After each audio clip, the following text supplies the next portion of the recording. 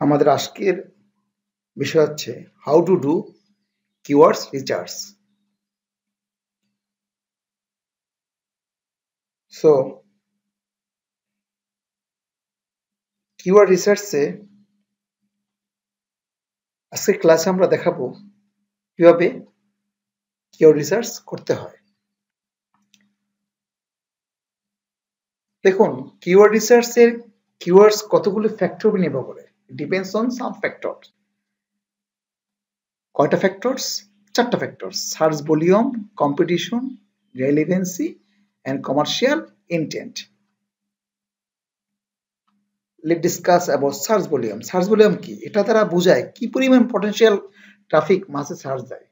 আমরা অনেকেই জানি এবং এর আগেও ইউজ করে দেখে দেখিয়েছি Google keyword planner Google keyword planner দিয়ে অথবা যে কেডব্লিউ ফাইন্ডার দিয়েও কোন একটা কিওয়ার্ডের কি পরিমাণ সার্চ ভলিউম আছে দেখা যায়।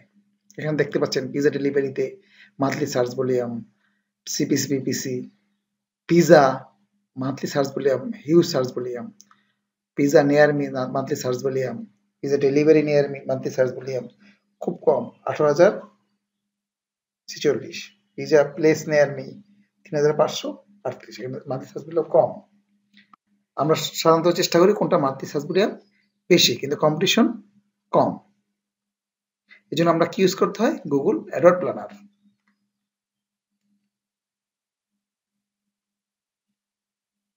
competition competition এটা দ্বারা বোঝায় কিওয়ার্ডস র্যাঙ্ক করাতে কি পরিমাণ ডিফিকাল্টি ফেস করতে হয়। কারণ যে কোনো একটা পিজা রেসিপি এর যদি কম্পিটিশন পাঁচ লাখ হয় হোমমেড পিজা রেসিপি এর কম্পিটিশন যদি পঞ্চাশ হাজার হয়, কোনটা ভালো হবে আপনার জন্য? অবশ্যই হোমমেড পিজা রেসিপি খুব দ্রুত র্যাঙ্কিং আসতে সাহায্য করবে। একটু কম্পিটিশন প্র্যাকটিক্যালি দেখি। দেখুন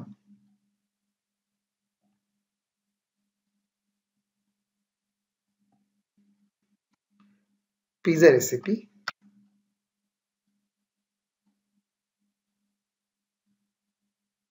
একশো চৌত্রিশ কোটি রেজাল্ট পয়েন্ট ফোর সেভেন সেকেন্ডে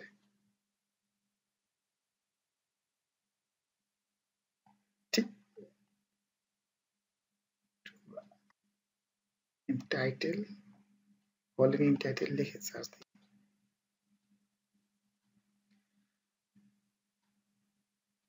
মাত্র সাত লাখ বিশ হাজার রেজাল্ট আসছে। রেজাল্ট অনেক কমে গেছে।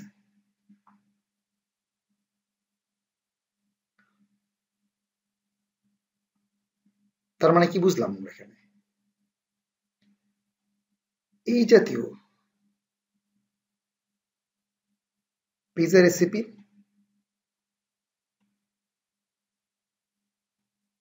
কম্বিনেশন সাত লাখ বিশ হাজার। ঠিক পিজা রেসিপির জায়গায় আমরা যদি হোমমেড লিখে দিই। হোমমেড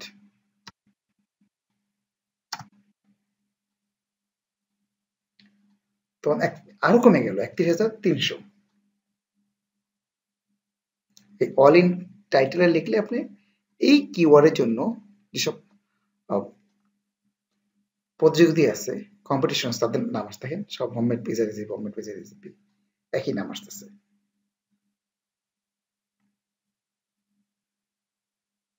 কম্পিটিশন যত বেশি হবে, তত আমাদের র্যাঙ্কে করতে সমস্যা হবে।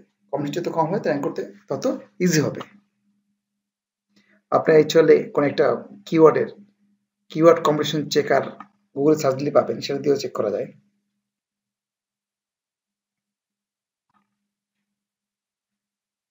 Next relevancy relevancy quality traffic আনতে বিশেষ ভূমিকা পালন করে। কারণ আপনার যদি আপনার কিওয়ার্ড রেলিভেন্সি বাড়ান, আপনার রিয়েল বায়ার অ্যাটাক হবে আপনার কন্টেন্টের দিকে এবং আপনার ওয়েবসাইটে রিয়েল বায়ার আসবে।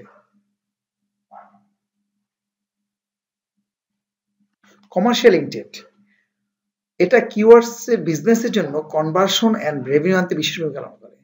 কমার্শিয়াল ইন্টেন্ট আমরা দেখি না সেল বাই কুপন এই যদি এগুলি লো ভলিউম কিন্তু রেভিনিউ আনতে এবং কনভার্সন রেট বেশি।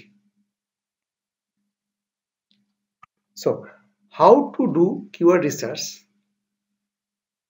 এবার আমরা সার্চ বলে এমনি বিশদ আলোচনা করব। It is average monthly search for a keywords আমরা একটু আগে বলছি যে গুগল কিওয়ার্ড প্ল্যানার দিয়ে আপনি দেখতে পারবেন। এই টুলস আছে। আমরা পরবর্তী একটা ক্লাসে দেখাই দেবো ওর কিওয়ার্ড প্ল্যানার কীভাবে কাজ করতে হয়। অ্যাভারেজ মান্থলি সার্চ দেখায়। এবং হাই ভলিউম কিওয়ার্ড মিনস মানে মোর ট্রাফিক ফর ওয়েবসাইট যত বেশি সার্চ ইউজার বেশি, তত বেশি আপনার ট্রাফিক আসবে। It is also depends month to month January মাসে যেই সার্চ ভলিউম হয় ফেব্রুয়ারি মাসে কম হতে পারে। ডিপেন্ডস করে। কম্পিটিশন একটু আগে দেখেছি কীভাবে কম্পিটিশন বের করতে হয়। অল ইন টাইটেল লিখে, ওই নির্দিষ্ট কিওয়ার্ড উপরে। তবে higher competition means difficult to rank very difficult আপনি র্যাঙ্ক নাম্বার ওয়ান যেতে গেলে আপনাকে একটু মিডিয়াম বা লো কম্পিটিশন দিকে আগাতে হবে। So always go for low competition keywords for website. Number four, relevancy. Number third. দেখেন সবসময় রেলিভেন্ট কিওয়ার্ড ইউজ করবেন কন্টেন্টের সাথে prefer relevant keyword for your content যে কিওয়ার্ডটা মিল থাকে It drives quality traffic for website. কারণ এটা quality traffic আনে. It is very essential to find keywords relevant for business. খুব গুরুত্বপূর্ণ কমার্শিয়াল ইন্টেন্ট একটু আগে বলছি কমার্শিয়াল ইন্ট বলতে স্পেসিফিক কিওয়ার্ড কিন্তু high conversion rate suppose buy LED TV এর মানে বোঝাচ্ছে যে এটা হয়তো লো সার্চ হতে পারে, কিন্তু যে বাই এলইডি টিভি সার্চ দিচ্ছে, তার ইন্টেনশন কিন্তু কোন একটা এলইডি টিভি পারচেস করার ওই user intention some commercial intent keywords like এখানে এখানে দেখতে পাচ্ছেন এটা এটা সেল বা ডিসকাউন্ট বাই এরকম কুপন কুপন এগুলি সব কমার্শিয়াল ইন্টেন্ট তাহলে চারটা আমরা পেলাম। ফ্যাক্টর তো নেক্সট এই কিওয়ার্ডস আবার দুই ভাগে বিভক্ত প্রাইমারি কিওয়ার্ডস ও সেকেন্ডারি কিওয়ার্ডস প্রাইমারি কিওয়ার্ড হচ্ছে কি যেটা nature of content content nature কোন বিষয় নিয়ে কন্টেন্টটা লেখা হচ্ছে। আর secondary keyword primary keyword relevant যে কিওয়ার্ডগুলি সেগুলো হচ্ছে সেকেন্ডারি কিওয়ার্ড যেমন একটা হেলদি ডায়েট প্ল্যান এটা প্রাইমারি কিওয়ার্ড সেকেন্ডারি কিওয়ার্ড কি হবে? Healthy diet for weight loss healthy meal plan healthy diet food low carb diet, diet plan, weight loss it is clear.